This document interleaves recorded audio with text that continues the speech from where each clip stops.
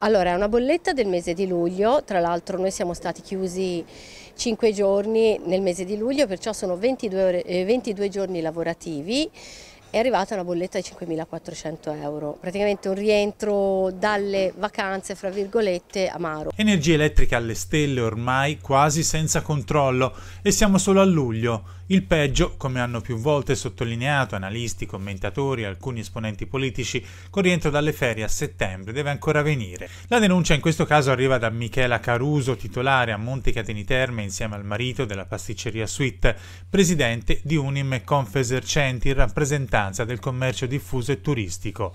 Il caro energia, in questo caso il fornitore Repower, giustificato dalla crisi Russia-Ucraina, dalla riduzione della fornitura del gas da parte della Russia e che indirettamente provoca rincari nei prodotti dei supermercati anche del 100%, prodotti e beni di cui necessitano anche attività come quella di Michela, pasticceria e affini.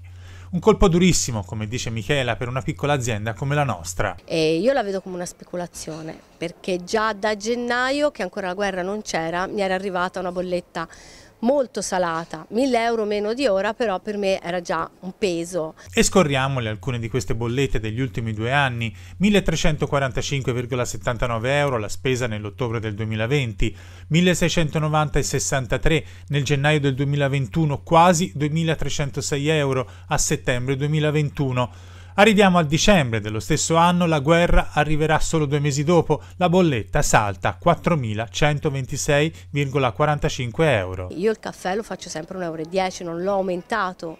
Perciò come si fa? E l'attività è sempre la stessa, il lavoro che fate è sempre lo stesso? Eh sì, anzi nel mese di luglio c'è un po' meno lavoro, c'è un po' meno gente perché per fortuna loro c'è chi va in vacanza, c'è chi va al mare, c'è più caldo, perciò nelle ore più calde la gente non esce e c'è un po' meno lavoro, però le spese sono praticamente più che raddoppiate e le spese fisse di materie prime e soprattutto eh, consumi elettrici, consumi fissi sono più che raddoppiati e ho bisogno di sapere da qualcuno cosa dobbiamo fare, così non si può andare avanti. Ecco.